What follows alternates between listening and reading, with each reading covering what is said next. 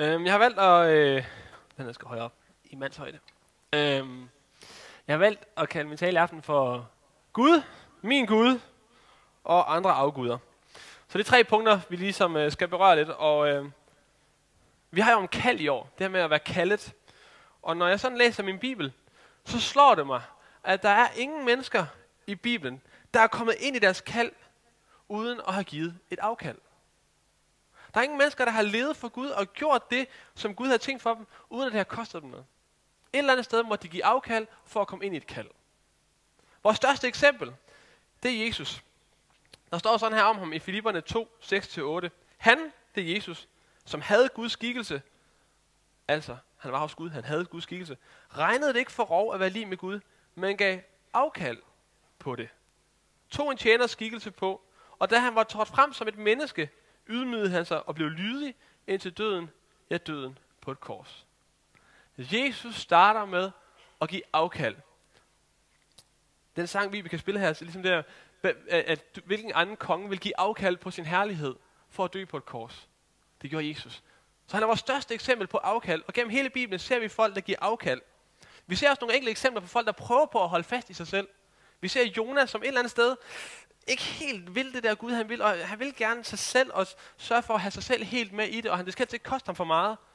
Og når vi ser på Jonas, så ser vi sådan lidt en, det gjorde du ikke så godt. Det var ikke sådan helt succes. Når vi ser Biliam, som også er en profet i Gamle Testamente, så ser vi også, at han prøver på hele tiden at tviste Gud og grædebøje. Kan jeg på en eller anden måde, Gud, både og? Og han står også som eksempel, hvor vi tænker, det, det var ikke så godt, det der. Og så ser vi folk, der betaler et afkald, der giver en pris, og fuldføre deres kald. Ja. Så jeg kunne godt tænke mig i dag at gå lidt tæt på og udfordre dig på nogle områder, hvor du måske skal til at gøre et afkald. Øhm, på en måde, og det, det, det, det er over, at du tænker, åh oh, nej, nu skal jeg til at stoppe med alt muligt. Nej, nej, det er slet ikke det, vi er bare rolig. Det er en helt anden sted, vi skal hen. Øhm, lad os prøve at kigge lidt på det. For det første, nej, lad os starte her. På et tidspunkt, så bliver Jesus udfordret af, af en fejser. Alle farisæerne, de vil gerne stille Jesus spørgsmål. De vil gerne fange ham på ord. Det er så meget ligesom os. Kan jeg få dig til at sige et eller andet dumt, så jeg kan sige, haha, du har ikke ret. Så var det også over for Jesus. Kan vi få ham til at sige et eller andet? Kan vi fange ham? Og der er en farisæer, der lægger mærke til, ham Jesus, han er ret skarp. Han rammer plet hver gang. Så han siger sådan her, og det står i Markus kapitel 12. En af de skriftkloge, som havde hørt dem diskutere, lagde mærke til, at Jesus svarede dem rigtigt. Han kom hen og spurgte ham, hvilket er det første af alle bud? Og Jesus svarede, det første bud er, hør Israel, Herren var Gud, Herren er en. Og du skal elske Herren din Gud af hele dit hjerte, af hele din sjæl, og af hele dit sind, og af hele din styrke. Det er ikke så lidt. Og dernæst kommer, du skal elske din næste som dig selv. Intet andet bud er større end disse. Herren er en. Gud er en. Der er kun én Gud. Altså tre en. Det er den anden tale. Men han er Gud. Han er en. Han er en enhed. Og hvis man roder lidt i kirkehistorien, eller igennem de forskellige øh, kirkefædre, så finder man ud af, at der på et tidspunkt har diskuteret noget, der hedder doktrinen om, på engelsk meget fancy, divine simplicity. Det betyder guddommelig enkelhed, eller guddommelig enhed, eller det, at Gud er en. Øhm, det hedder sikkert noget helt vildt fancy på latin. Der får I mig ikke hen. Øhm, men, men det her med, at Gud er en, hvordan skal det forstås? Det skal forstås sådan, at Gud, han er ikke samlet. Han er ikke lavet sammen med dele. Gud han er ikke et menneske som os. Nogle gange så, så, så tænker vi, at Gud han ligner os mennesker, fordi vi er skabt i hans billede. Det betyder ikke, at Gud han har arme og ben. Der står et sted i Bibelen, står der, at Herrens arm er ikke for kort til at frelse. Det betyder ikke, at Gud har en arm, men det betyder, at det er et billedtal på, at Gud han kan godt frelse os, han kan godt nå dig. Men Gud har ikke en arm. Gud er ånd. Øhm, hvorfor er det vigtigt? Jo, fordi hvis Gud han var samlet, så ville han jo kunne falde fra hinanden. Hvis Gud han bestod af dele, så vil ligesom sige, jamen, ligesom nogle gange, så kan vi sige til os selv, åh, oh, jeg falder bare fra hinanden nu. Eller, jeg går op i limningen. Kender de udtryk der? Nu går jeg op i limningen. Kunne Gud så også gøre det? Kunne man forestille sig, at Gud kunne komme helt derud, hvor så går han op i limningen. Nu presser vi ham nok. Nu, nu, nu kan han ikke holde til mere. Nu, nu falder han fra hinanden, ham Gud. Det kan vi ikke, for han er en. Så hvis Gud var sammensat af dele, så vil vi begynde at tænke på, hvilken del er det er Gud, jeg møder nu? Forstået på den måde her? Det bliver lidt, jeg skal nok nørde det sammen igen. Men for sådan her, Gud han har ikke kærlighed. Gud han har ikke godhed. Gud han har ikke retfærdighed. Gud han har ikke lys. Hvad mener jeg? Nej, der står faktisk noget endnu, værre, eller endnu vildere, ikke værre. Gud, han er kærlighed. Gud, han er lys. Gud, han er godhed. Og hvorfor er det vigtigt? Jo, fordi hvis Gud han har kærlighed, så kommer næste spørgsmål. Hvor meget har han? Eller hvis Gud han har kærlighed, kan man sige, har han så også andre ting? Hvis han har 20% kærlighed, har han så også, øh, nej, hvis han har 80% kærlighed, har han så også 20% sådan mørk side? Kunne jeg risikere at blive udsat for Guds mørke side? Nej, for Gud han er kærlighed. Der er ikke plads til den side af ham. Gud han, han er retfærdighed. Nogle gange så tænker vi, kunne Gud godt udsætte mig for uretfærdighed? Kunne han godt have den del? Nej. For han er ikke noget, han har sådan i mængder af bøtte. Det er det, han er. Og det er hele hans væsen, det er kærlighed. Hele hans væsen, det er lys. Hele hans væsen, det er retfærdighed. Det ligger så dybt i ham. Så når du møder Guds kærlighed, så møder du hans kraft, så møder du hans retfærdighed, så møder du hans godhed, så møder du hans lys. Der er ikke nogen skjult side af Gud. Der er ikke noget skjult motiv af Gud. Det er ikke sådan, vi skal tænke på, møder jeg nu Guds kærlighed, eller møder jeg den der lidt mørke side? Fordi vi som mennesker er jo sådan, jeg kan rumme en vis del, en vis del mennesker, jeg kan have en vis kærlighed, men jeg har altså også nogle skyggesider i mit liv. Der er et tidspunkt, så løber min godhed altså op med mig. Desværre, jeg kommer til kort. Min kærlighed løber på et tidspunkt også op, hvis man bliver ved med at presse mig. Det kan vi ikke med Gud. Og hvorfor er det vigtigt? Jo, for det er, der er en stor tryghed i. En enorm stor tryghed i at vide, at Gud er kærlighed. Jeg kan ikke løbe ham over ende. Jeg kan ikke presse ham derud, hvor at nu er han ikke kærlig længere. Vi kan så godt opleve en gang imellem den her opdragende side af Gud. Man forstår ret, det er hans kærlighed, der opdrager os så. Det er noget andet. Så. Så Gud han er en. Jeg skal lige komme ind her igen. Hmm. Jo. Ser du? En anden ting, der er vigtig i det, det er jo, at hvis Gud er kærlighed, så må han være den største Gud inden for kærlighed selvfølgelig, fordi han er kærlighed. Han definerer, hvad kærlighed er. Det er ikke bare noget, han har. Han er definition på kærlighed. Hvis Gud han er godhed, så er det ikke bare ligesom, Gud har godhed. Han definerer, hvad er godhed. Han har førstepladsen. Og det er Gud. Sådan er han. Så har jeg så min Gud. Og det kan lyde rigtig grimt. For Bibelens Gud og min Gud er ikke altid helt den samme. Hvorfor ikke? Jo, for ser du, jeg kan godt drifte væk fra Gud. Mit billede af Gud kan godt ændre sig, og jeg har jo billedet af Gud op i hovedet. Bibelen præsenterer den sande Gud, med mit hoved et eller andet sted nogle gange, kan godt drifte væk fra de tanker og sige, jeg kunne godt komme til at blande det lidt op. Jeg kunne godt komme til at tage noget andet ind. Så nogle af de brikker, jeg har Gud, som siger sådan en puslespilsbrik, så har jeg puslespillet her, men jeg kan godt, åh, oh, den her brik kunne jeg også godt bruge, den er godt nok et andet sted fra. Lad os prøve at læse den her. Øhm, lad os prøve at læse her for, for, for øh, 2. Mosebog 20, 2-6. Det er de 10 bud her. De står i 2. Mosebog 20. Der står sådan her, hvor Gud har ramt sig op. Han siger, jeg er Herren din Gud, som førte dig ud af Ægypten. Jeg er Herren din Gud. Der er en Gud. Så siger han, du må ikke have andre guder end mig. Fair nok.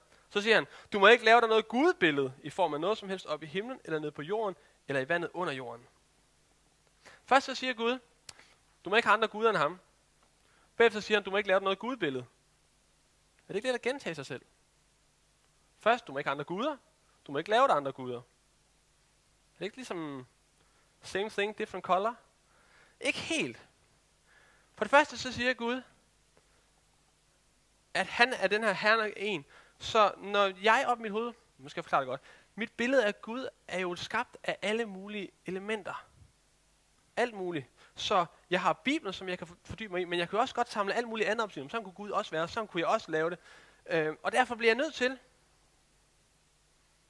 Øhm, derfor bliver jeg nødt til at hele tiden vende tilbage til Bibelen. Gud er den kærlige Gud. Det vil sige, hvis jeg vender mig bare lidt væk fra Gud, så vender jeg mig i virkeligheden mod en mindre kærlig Gud.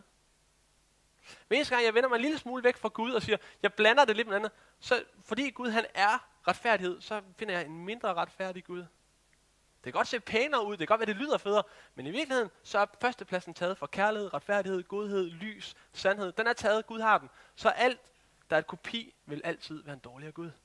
Derfor er det vigtigt for Gud at sige, du må ikke lave dig andre billeder, fordi så går du glip af noget af min kærlighed, så går du glip af noget af min godhed, så går du glip af noget af min retfærdighed, så går du glip af min sandhed. Du får byttet den ud, du får den forurenet, du får et mindre godt kopi. Og pludselig så kan man høre kristne, der siger sådan her, ah, jeg tror Gud han straffer mig, hvis jeg bliver for glad i dag. Jeg hører kristne sige, og jeg er nogle gange så bange for at blive for glad og for begejstret, for så vil Gud straffe mig. Hvor kommer det fra? Det kommer fra sådan en yin og yang tankegang omkring, at der skal både være noget godt og noget mørkt, og der skal være en skyggeside og en lysside. Og lige så bliver det blandet op, så tager jeg den tankegang fra en anden kultur og blander sammen med mit billede af Gud. Du kan høre kristne, der siger lige pludselig, som der står i Bibelen, en hver sin egen lykkes med. Det har jeg faktisk hørt folk sige. Det står ikke i Bibelen. Okay, google lige så tosset du vil. Men lige pludselig bliver det, jamen jeg samler jo noget op et andet sted fra. Og så blander jeg det. Eller den her, den er cool. Øhm, du skal res- jeg respekterer alle dem, der respekterer mig. Det lyder rigtig fedt. Det lyder fedt. Det er totalt lavsig sætning. Det er bunden af, det er ligesom at drikke toiletvand. Men øh, det lyder fedt. Og, øh, og så siger man det, og så siger man, det lyder, åh, det er cool. Det, det er kristen. Nej, det har intet med Bibelen at gøre. Det har ikke noget med Bibelen skulle gøre. Men vi samler op. Og langsomt så ændrer vi os en lille smule. Vi lægger ikke mærke til det, men vi ændrer os. Øhm, jeg hørte engang en, der sagde, de 10 bud, det er jo bare øh, Guds vejledning til, hvordan vi kunne leve et godt liv. Det er jo ikke noget, vi skal holde. What? Øh, Gud har kaldt dem bud. Det er noget, han påbyder os at gøre og stræbe efter. Det er ikke bare et, sådan et, det er ikke et kostråd, sådan, åh, oh, men jeg spiser æbler, men der er også nogen, der spiser bananer. De 10 bud, eller... Ej, nej, nej, nej, det er, det er Gud, der taler til os. Det er ligesom om, vi er under konstant påvirkning, fordi vi lever i en kultur. Er nogen af jer, der har været ude at flyve? Uh, Kastrup Lufthavn. Har I prøvet de der øh, rulle, rullefortov? Det er awesome. Men altså, vi, i Danmark har vi problemer med fedme, så vi installerer rullefortov. Fedt, fedt fundet på. Så man stiller sig op på dem, og så, så kører det bare. Måske, måske sådan. Så kører det bare. Jo, hey. Og sådan, sådan er kultur også. Du lægger ikke mærke til, at du stiller bare op, og så kører du bare med. Det betyder ikke også, hvis du ikke gør en indsats for at ligesom komme ud af din kultur og gå imod, så vil du altid drifte væk fra det, der er i Guds ord. Det vil sige, hvis jeg i dag fordyber mig i Guds ord og får en sandhed, så om en måned, selvom jeg tænker, det var fedt, så vil jeg drifte, om en måneds tid, så vil jeg langsomt sådan glide væk. Og det er ikke, fordi jeg gør noget, det er bare, fordi jeg er under en kultur. Så det sker. Og så kommer vi til at, vi samler noget op. Ja, jeg respekterer dem, der respekterer mig. Det lyder cool, og det kunne, oh, Jo, der er også Gud, der taler også om respekt. Han taler om, at vi skal respektere alle. Lige meget, hvad de gør ved os. Det er en anden side. Så. Og problemet er jo, det lyder fedt, men i virkeligheden så tilfredsstiller vi os med en mindre Gud. Vi siger, det er okay med mig, at min Gud er mindre retfærdig. Eller det siger vi ikke direkte, men det er vi påvirker af. Jeg vælger en Gud, der er mindre kærlig. Jeg vælger en Gud, som er mindre sand. Der har mindre lys. Fordi førstepladsen er taget. Så hvis det var den mest kærlige Gud i verden, så var det jo ikke Bibelens Gud. Jeg havde engang en studieveninde, som øh, vi snakker om Gud. Det, en så er det meget let det der med at snakke om Gud, når man er ude på et eller andet studie eller et eller andet sted. Man skal bare sige, at man er kristen, og så når de begynder at drikke lidt, så begynder de at snakke med en. Og så snakker så siger hun på et tidspunkt, jeg har en aftale med Gud. Nå, siger det lyder spændende. Ja, jeg har aftalt, at øh, han vil altid være der for mig, når jeg engang får brug for ham. Okay. Hvor er det synd for hende? Hun har, hun har, hun har driftet så langt, jeg ved ikke, om hun nogensinde har været helt tilbage. Men hun kommer kommet så langt væk, og hun siger, det, det lyder jo rigtig fedt. Og nogle ting, det lyder som fed Gud. Det lyder da som den mest ligegyldige Gud i hele verden. Det lyder som en eller anden butler, man har ansat til den. Kan du ikke lige komme og hjælpe mig? Men, men hvad med Guds kærlighed? Hun bliver ikke udsat for Guds kærlighed. Guds opdragelse. Hun, bliver, hun får ikke lov til at opleve Guds godhed. Fordi hun tænker, men Gud, han er, så, så, det kan jeg ikke forholde mig til, så derfor så skal jeg bare, han skal bare være der, når jeg engang får brug for ham. Når en eller anden gang jeg ligger i skilsmisse, så råber jeg til Gud, så skal han være der. Og jeg håber, at han er der. Det, hvis hun søger Gud, så skal han, hun få lov til at møde ham. Men, men alt det, hun gik glip af i mellemtiden, fordi hun delte, tog den sande, eneste, rigtige, kærlige, retfærdige Gud, og skiftede ham ud med dårligere kopi. Hun driftede væk. Og du drifter altid. Hvordan undgår du så at skifte den her Gud ud, skifte de her brækker ud hele tiden? Hvordan, hvordan undgår jeg det? Hvordan er det, jeg går imod det her rullebånd og siger, nej, jeg vil ikke drifte med, jeg vil på en eller anden måde komme tilbage hertil? Det gør du ved at læse i din bibel. Jamen, jeg, jeg, der var en, en, en, jeg kan selv sige, der var en ung, der sagde til mig, det var en gammel elev, altså der, det er primært de unge, jeg møder lige for tiden, det er alle jer gamle elever, jeg øh, Og så siger, åh, jeg synes bare, øh, det er fedt at læse undervisningsbøger. Det er fedt at læse undervisningsbøger. Det er fedt at høre prædikener. Ah, Bibelen, den er, den, det er godt nok en tør kage. Men undervisningsbøger, det er fedt og prædiken er fedt. Og det er rigtig undervisningsbøger er fedt. Det er super fedt at få noget, der, der ligesom er skrevet til unge mennesker om Bibelen. Fedt. Eller det er super fedt at høre en prædikant, der ligesom her til tirsmøde målrettet siger, her er Guds ord. Det er rigtig fedt. Men, men det er jo ikke Guds ord som sådan. Det er en, der udlægger Guds ord, eller fortæller mig om Guds ord. Så forstår ret, hvad jeg siger. Det er godt at høre prædikner, det er godt at læse undervisningsbøger, men det bliver også nødt til at vende tilbage til Bibelen en gang imellem. Lad os prøve at se nogle, på nogle, nogle skriftsteder, som jeg synes er helt vildt spændende. Og så sådan her, øh, Johannes evangeliet, kapitel 1, vers 1 og vers 14, det er sådan meget klassisk. I begyndelsen var ordet, og ordet var hos Gud, og ordet var Gud. Hmm. Og så kommer der med, han var i begyndelsen hos Gud. Han. Snakker vi ikke om ordet? Jo, men vi snakker også med han. Så senere står der, hvis vi læser videre, og ordet blev kød og tog bolig blandt os. Hvem er det, vi taler om? Det er Jesus. Jesus, han gemmer sig herinde. Ej, jeg kunne godt tænke mig at opleve Jesus. Jamen, han gemmer sig herinde. Det er som sådan en hologram nærmest, man kan sådan åbne op, og så... Mm, det er ligesom sci-fi, ikke? Ikke helt, men Jesus han gemmer sig hen i ordet. Vi prøver at læse videre. I 1. Johannes, det er igen Johannes, der skriver, det er bare et, et andet brev, det her. Øh, kapitel 1, 1, der står der sådan her. Det, som var i begyndelsen, det, som vi har hørt, det, som vi har set med vores øjne, altså det, som Johannes evangeliet, eller Johannes apostlen, han hørte, og det han så, det, som han rørte ved, står der, det vi betragter med, som vi betragter, hvad han rørte ved, så burde der stå Jesus. Men der står livets ord. Hvad? Ja, Jesus han gemmer sig i det ord her. Der står sådan her, for Guds ord er levende og virksomt og skarpere end noget tvækket svær. Det er Guds ord. Det trænger igennem, så det skiller sjæl fra ånd og marv fra ben og er dommer over hjertets tanker og meninger. Ingen skabning kan være usynlig for ham. Skulle det ikke stå det? For ordet er Jesus, og Jesus er ordet. Det kan godt være, det lyder, det er meget mystisk i virkeligheden, ikke? Men det her med, at Jesus han gemmer sig herinde. Selv så siger Jesus sådan her, I grænsker skrifterne, det snakker han med nogle fejser, og de er oppe og skændes lidt, og så siger Jesus, I grænsker skrifterne, I kigger det gamle testamente, fordi I mener, der er liv i dem. Og netop de vidner om mig. Det er faktisk muligt nogle gange at finde Jesus i det gamle testamente. Der står sådan, at han begyndte med Moses og alle profeterne, det er Jesus, og udlagde for dem, hvad der stod om ham i alle skrifterne. Det her med, at Bibelen er ikke bare en bog, men Bibelen er levende. Det er den eneste bog, der bliver levende for dig. Hvordan det lige pludselig, når du læser hende, så oplever du, hey, han taler til mig. Wow, det var til mig. Det der, det bad jeg om i, for tre uger siden, og wow, her er svaret. Eller, åh, oh, hvad skal jeg gøre, Gud? Hvordan er det lige, jeg skal takle det her? Og lige pludselig så, uh, her kommer svaret. Det bliver levende for dig. Hvorfor? Fordi Guds ånd kommer en del af det, og lige pludselig træder Jesus frem i det. Du vil gerne møde Jesus? Læs din Bibel. Det er det sikreste sted at starte. Det er det bedste sted at starte. Der står sådan her i 2. Timotheus 3:16. Et hvert skrift er indblæst af Gud, og nyttigt til undervisning, til bevis, til vejledning, til opdragelse i retfærdighed. Et andet sted i Bibelen, hvor vi ser, at Gud han indblæser noget. Hvor er det? Det er, når han skaber Adam. Hvorfor? For det giver liv, når Gud indblæser. Guds ord bliver levende. Jeg har en, øh, en, øh, en ven, og øh, han har børn. Og en dag så kommer hans datter op til ham, så siger, han, siger hun, far, kan du nogle gange høre Gud? Ja, siger han så, ja, jeg hører Gud hver dag. Nå, åh, det var godt vildt. Så sagde han, kunne du godt tænke dig at høre Gud? Ja, ja, det kunne hun godt. Hun var ikke særlig stor. Det kunne hun godt. Selvfølgelig, altså, hvem vil ikke høre? Så okay, kom, vi skal sove i sofaen. Så sidder de så i sofaen. Så tager han sin bibel frem. Så slår han op, og så begynder han at læse. Da sagde Job, hør dog, hvad jeg har at sige. Lad det være den trøst, I kan give mig. Ej, far, det er jo ikke Gud. Jo. Det her det er den mest sikre kilde, det bedste garanti, vi har for Guds ord. Alt andet, vi hører, vil altid være filtreret gennem en menneske. Selv hvad jeg siger, er filtreret gennem menneske. Men Guds ord, det er vores kilde. Det kan så godt være, at vi er i gang med at læse nogle andre bøger, og vi hører nogle prædikener, og det er rigtig, rigtig godt. Men vi bliver nødt til at vende tilbage en gang imellem. Faktisk så ofte, som vi kan. Og så siger hey Gud, tal til mig. Jesus, åbenbar mig. Åbenbar dig for mig. Ja, men det er bare så svært. Det ved jeg faktisk godt. Jeg synes også, det er rigtig, rigtig svært. Jeg, jeg prøver på, det lykkes 3-4 gange i ugen, at sætte mig ned om morgenen og læse min bibel.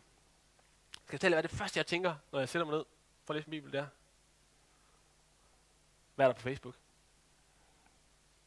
Jeg kunne jo lige gå på Facebook, for lige at se, fordi når jeg går ret tidligt i seng, så må ikke jeg lige kunne se, hvad der skete med den. Det er første tanke. Næste tanke, det er, jeg burde også læse nyheder. Jeg er samfundsfagslærer. Hvis jeg dukker op, og, og der er sket et eller andet vildt tilfældigt i løbet af natten, og jeg ikke ved det, så er jeg bare den mest utjekkede samfundsfagslærer i verden. Har du ikke hørt om den? Nej, jeg har overhovedet ikke hørt noget som helst. Jeg har sovet. Jeg burde tjekke her. Det er faktisk rigtig, rigtig svært. Og det er faktisk ikke, fordi jeg sådan har lyst til det i Bibelen. Og nu skal jeg være helt ærlig. Jeg skrev samme opgave som Ibeke. Min deadline var lidt flyttet. Og chok, hvor skulle vi læse meget. Alle mulige artikler og bøger. Man skulle læse alt muligt for ligesom at kunne dokumentere det, man skrev. Så jeg tog faktisk en hel måned, hvor jeg hver morgen satte mig ned og læste artikler og bøger. Jeg læste ikke en bibel.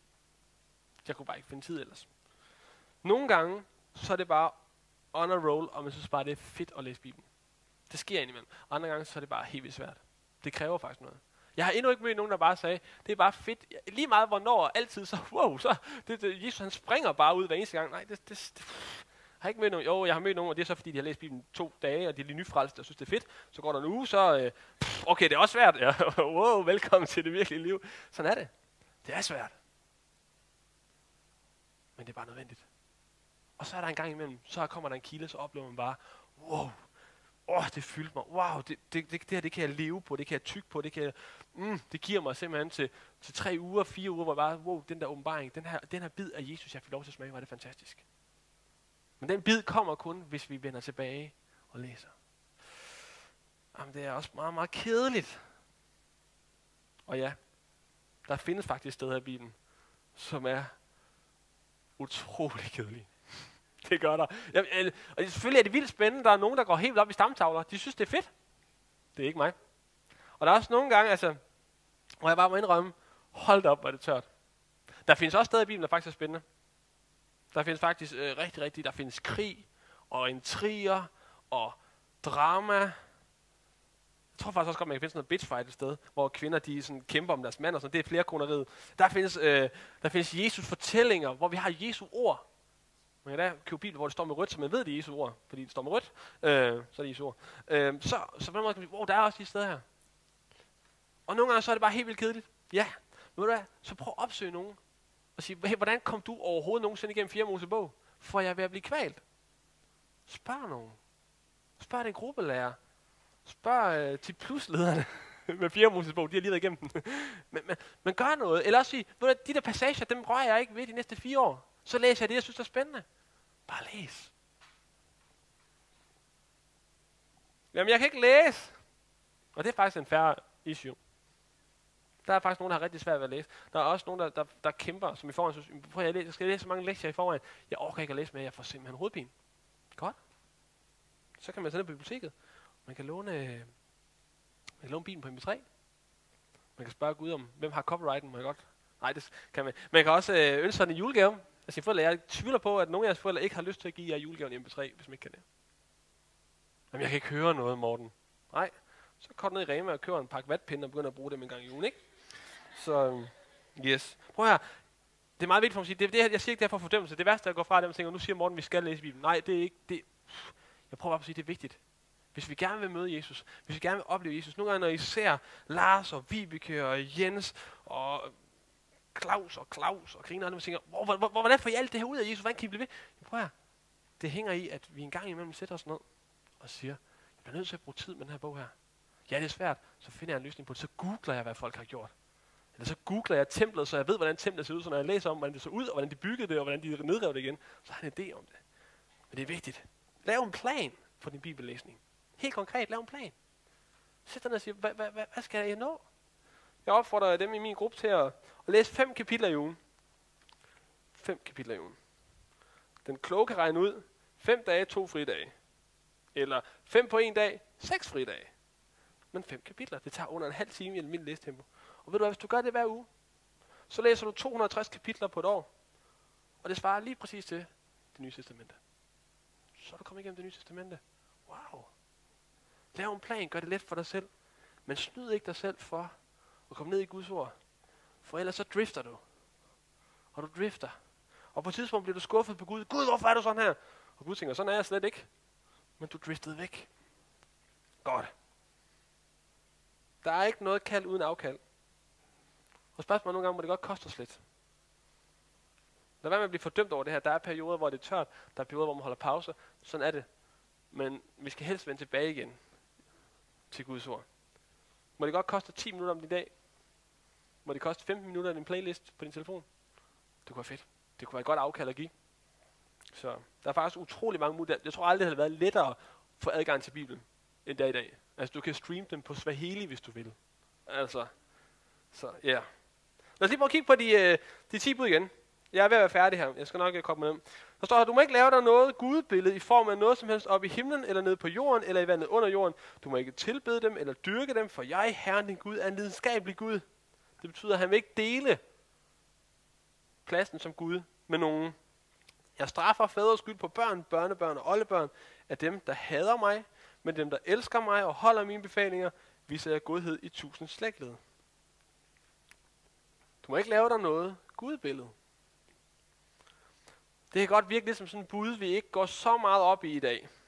Altså, vi er trods alt kommet lidt ud over det der med, at man laver små statuer og tænder lys for dem og siger sådan en lille chantebøn og sådan noget. Det er kun Asian Sensation, der gør sådan noget. Vi andre er ligesom kommet videre og tænker, den, den er vi kommet over. Men israelitterne, de gjorde det faktisk. Hvorfor? Jo, for de kom fra en kultur af afgudstyrkelse.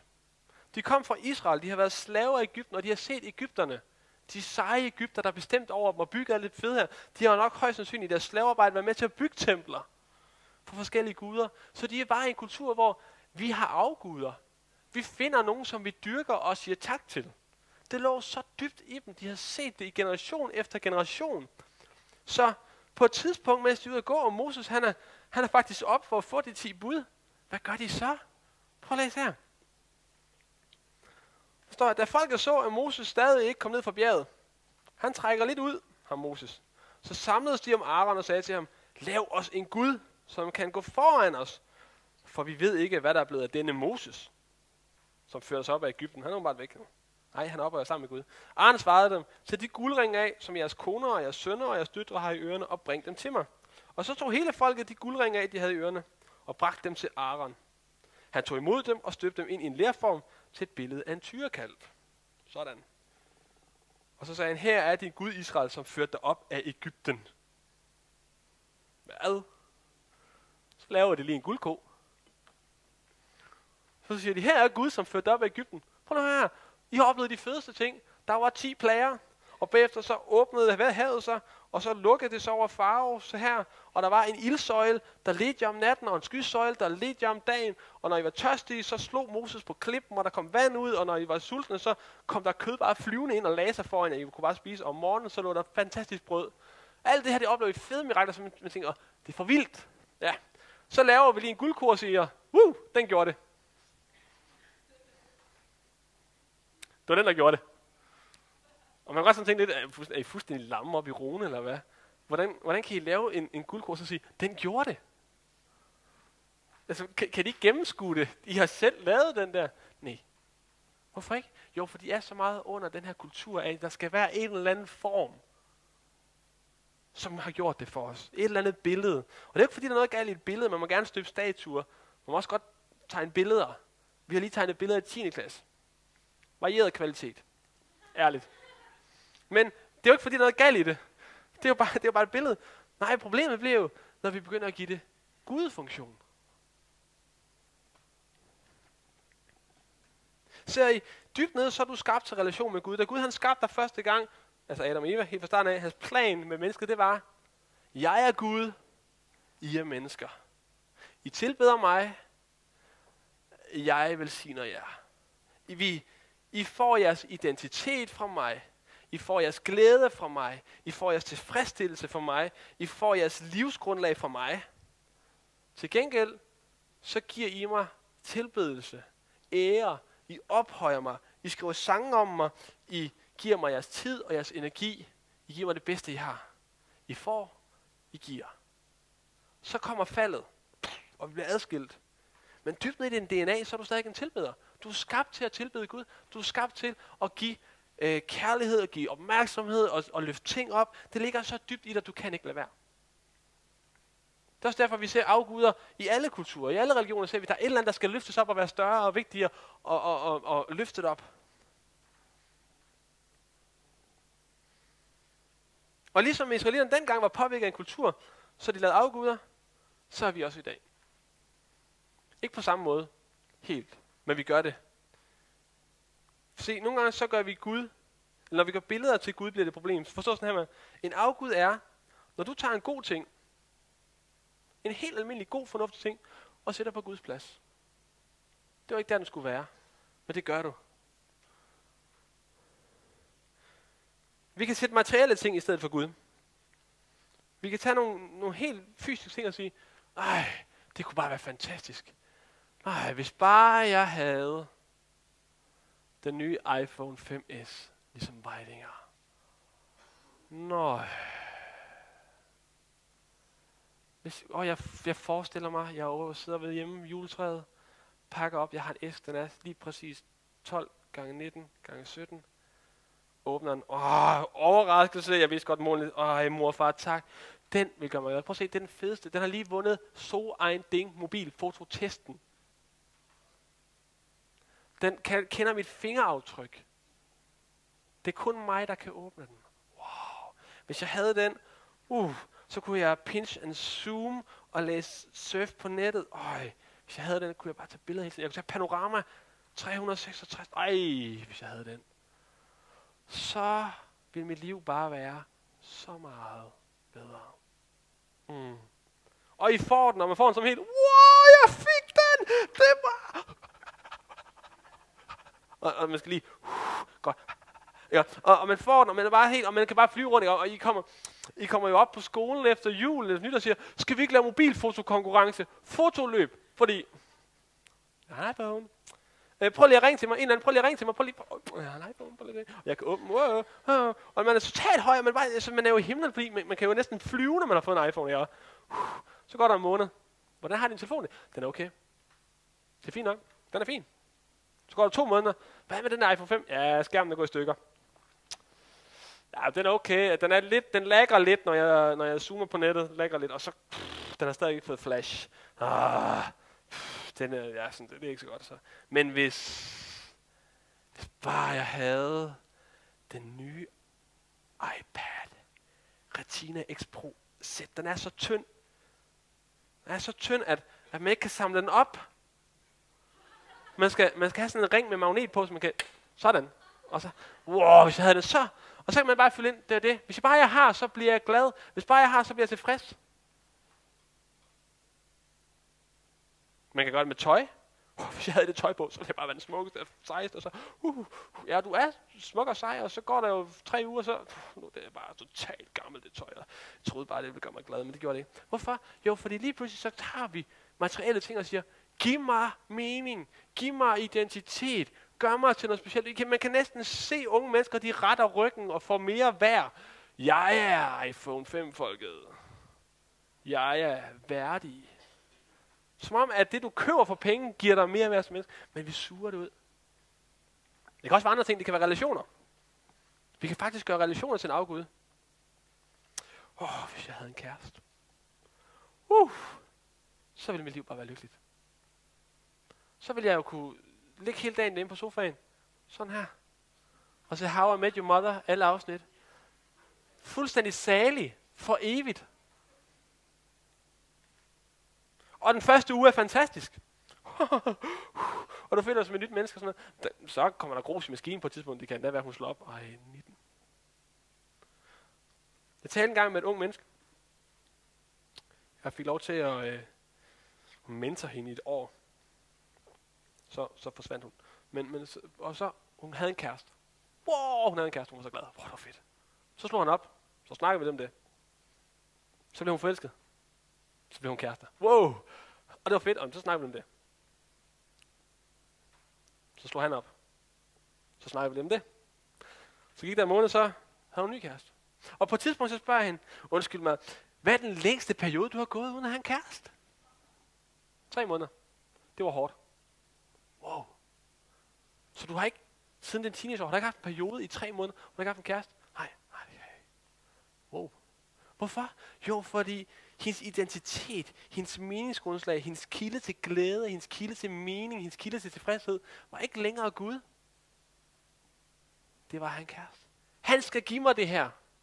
Jeg skal være i den her relation, så jeg kan være glad, så jeg kan få mening, så jeg har identitet, så jeg kan få værd, så jeg kan ligesom være værdig og få, få større selvværd.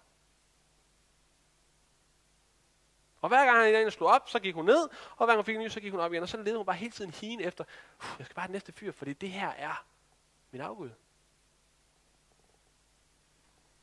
Det kunne også godt være status. Vores egen status. Hvor er det vigtigt, at andre ser mig helst, før de ser andre. Hold op. Og hvis andre bare kunne, kunne like mig på Facebook. Den er jeg faldet i.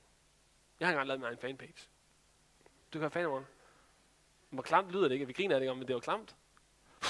Der er nogen af jer, det er jo sådan helt, man kan sige, wow, jeg har fået 119 likes. Det er så resten af efterskolen. Wow, wow, wow, wow. En time efter, åh, oh, 100, man tæller likes, mand. Hvad er det så? Jamen, det var fordi, jeg fik varm liv på sig til frokost, og jeg har taget et billede med det rigtige filter på. Folk synes, det er fantastisk. Din status bliver lige pludselig vigtig for dig. Det, og du begynder at se, hvem er mine rigtige venner? Hvem er det, jeg skal kende? Hvem er det, jeg skal smiske mig ind hos for ligesom at, uh, så er jeg noget. Og prøv her, alt det her, relationer, materielle ting, status, man kan nævne mange flere ting. For nogle af jer så er det fodbold. I tror bare, at fodbold er meningen med livet. Sorry, det er Gud, der er meningen med livet. Pladsen er taget. Kom igen. Men det kan være alle de ting, og der er jo ikke noget galt i dem. Det er gode ting. Det bliver først det problem, at vi tager de gode ting og gør til Guds ting. Giv mig mening. Giv mig værdi. Giv mig glæde. Og ved I, hvad det forfærdeligt er? Det er, at i starten så giver det dig mening, og det giver dig glæde, og det giver dig værdi. Så gør det en ting mere. Så gør det til slave. Fordi lige pludselig, så er du, jeg skal have det næste kick. Min telefon tilfredsstiller mig ikke alligevel, så jeg skal have. Min kæreste har slået mig op med mig, så skal jeg have en ny. Og lige så bliver det meningen. Og i stedet for, at du ser Gud give mig mening, så bliver du en slave af at få mening ud af dine afguder. De tilbød noget, men de fanger dig bagefter. Og du går bare efter det næste rush i, hvornår kan jeg få den her tilfredsstillelse. Og du giver mere ind for det, for at få det. Ekstrem eksempel, sex. Wow, hvis jeg bare, man har mødt de fyre, jeg har gået på gymnasiet med et par stykker, hvis bare jeg kan være sammen med hende der, så vil åh, jeg vil være i himlen. Og det lykkedes dem. Hvad sker der så? Hvis bare jeg, ah, hun var okay, det var fint, og det var godt, og det var dejligt, nu er det blevet hverdag. Hvis bare jeg kunne være sammen med hende der. Og i starten så man set, åh, oh, det er status, man. han, han scorer hende, og han scorer hende. Og sådan. Men til sidst så bliver det, han er fuldstændig besat. Han er slavefundet, banget af det. Han kan ikke afgive, fordi det, der han skulle få for Gud, det skal han lige pludselig have mennesker, eller skal have materielle ting, eller have relationer. Og der er ikke noget galt med sex i de rigtige rammer. Der er ikke noget galt med iPhone. I må ikke komme fra og sige, Morten siger, du skal smide iPhone væk, og vi ikke må nogen kærester. Nej, det siger jeg ikke. Men hvilken plads giver du det? For der er én Gud. Én Gud. Det fantastiske er, at han har den bedste kærlighed, han har den bedste faderhjerte, han har den bedste plan for dig. Han har ingen grund til at skifte ham ud. Godt. Du kan have fremtid, skolearbejde, karriere, you name it. Hvad som helst kan blive en afgud. Det skal bare være på en forkert plads. Jeg er faktisk en afgudstyrker, som jeg siger. Jeg kan godt falde i. Fordi jeg lever også i en kultur, hvor hvis jeg ikke konstant er opmærksom, og ikke konstant siger, helligånd, hvad er der, så drifter jeg. Sorry, jeg drifter. På åben for tv'et, der er programmer om at få den perfekte bolig. En større bil. Vær den rigtige mand. Opdrag dine børn. Opdrag dine børn rigtigt. Spis økologisk. Du kan alle mulige, du, hele tv, det er jo bare hyldest. Vær kendt. Du, du driver bare med, hvis man sidder og ser det, så tænker man, jeg, jeg, jeg, jeg kan nogle gange sådan, jeg har oplevet to gange, sidder hjemme i min sofa, og lige så kommer Helligånden og siger, Morten, du har gjort din familie til en afgud. Ja, yeah, det har jeg vist. Jeg vil gerne have nogle godt, søde, opdragede børn, så jeg lægger al min energi, al min tid i. De skal bare have det godt. De skal sørge for, at jeg skal for, at jeg er den rigtige far for dem, og den rigtige mand for min kone, og jeg kan en masse gode slang og quotes, og jeg har liket alle mulige statuser på, hvordan man er en rigtig far, rigtig mand og rigtig farmand, og alle de ting. Øhm, og, lige så, og det er jo ikke, fordi der er noget galt i det. Men lige fordi jeg kan se hele mit livsgrundlag ud på, at jeg skal bare have den rigtige familie. Det skal bare være perfekt. Og det giver de mig. Og jeg får et rush. Wow! Jeg elsker, når folk kommer og siger, at jeg har verdens sødeste børn. Det ved jeg godt, men tak fordi I siger det engang imellem. Øhm, det, det siger alle forældre, jo Men og jeg elsker det, men problemet på et tidspunkt, så bliver det et quest for mig. Så bliver det, det er det her, jeg lever for. Og det lyder grimt. Jeg får en grim smag i munden. Og så må jeg omvende mig. jeg tror faktisk, jeg tror faktisk, der er flere der eller er, der sidder og tænker, Au, der er et eller andet her, der er lov til at fylde for meget. Alt for meget. Et eller andet, som, oh, Morten, den stak. Det kan være din hine efter teknologiske gadgets, status, det rigtige tøj. Christoffer spurgte, kan, kan teologi være en afgud? Ja, kan sagtens være en afgud. Du kan være så opsat på at have den helt rigtige syn på Gud. Jeg skal bare læse alle bøgerne af teologien. Og det er så vigtigt for mig, at jeg har den helt rigtige syn på Gud, at dit syn på Gud bliver vigtigere end Gud. Så er det blevet en afgud. Det lyder mærkeligt. Det kan ske. Jeg har mødt sådan mennesker. Jeg har været sådan en menneske. Det er sådan en anden sag. Godt. Bibelen den er faktisk benhård. Sidste skriftet. Elsk ikke verden, og heller ikke det, som er i verden.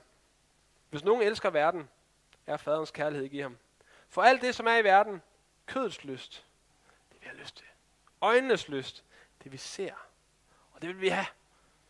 Og pral med jordisk gods. Se mig, min nye bil. Se mig, mit nye store hus. Se mig, jeg har en campingvogn. Jeg har en campingvogn med carport. Jeg har, og så kører det bare ud af. Og vi praler med det.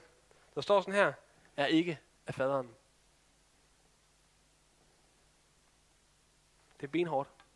Det er faktisk så hårdt, at Gud han siger først, jeg er Gud, og du må ikke have andre guder end mig. Først længere ned siger han, du må ikke slå ihjel. Det var ikke vigtigst for Gud, du ikke må slå ihjel. Det lyder banalt. Det var ikke vigtigst for Gud, du ikke må stjæle, du ikke må lyve. Det vigtigste var, jeg skal have førstepladsen. Og hvor finder vi Gud? Det finder vi i hans ord. Jeg har talt om to ting i aften. Tre ting. Der findes én Gud. Du lærer ham at kende ved at grave ned i Guds ord. Det kunne være i aften, du skulle sige, jeg tager lige en tur til med at prøve på at læse Bibelen. Jeg har prøvet en gang, det lykkedes ikke. Nu prøver jeg igen. Jeg vil gerne, åh, jeg vil gerne give en indsats. Jeg vil gerne give et afkald for at komme ind i mit kald. Jeg vil gerne, jeg vil gerne give den en skalle. Så lige midt, når lovsangen kommer op og spiller, så grib din gruppelærer og sig, hey, vil du ikke bede for mig? Og kan vi ikke snakke om det her næste gang? Hvordan kan jeg få fat i Bibelen? Hvordan kan jeg læse i den? Bare lad være med at give op. Det kan være hårdt, ja. Der kommer en nedtur, ja. Du kommer helt sikkert til at synes en gang i tid, at du har lyst til at kaste Bibelen ind i en væg, og synes, det er den dårligste bog i hele verden. Det kommer til at ske. Øhm, men lad være med at give op. Så tag den sammen op igen og fortsæt. Så det, jeg taler om, det er, har du afgud af dit liv? Har det et eller andet sted, hvor du har taget noget, nogen, der selv et eller andet og sagt, det her er mit livsgrundlag, det her er mit identitetsgrundlag, det er det her, der er det vigtigste for mig. Det er herfra, jeg får min kilde til liv, så det får min tid, min energi, min tilbedelse, min ophøjelse, mit fokus. Og det er ikke Gud. En god ting, der er ikke noget galt med den ting, forstå ret, du har bare sat den på forkert plads. Den skal lige en hylde ned. Den skal ikke være på hylde nummer et, det er Guds hylde. Den skal herned. Og den, der skal derned, og hende hun skal herned. Og min familie skal herned. Ah, hylde to.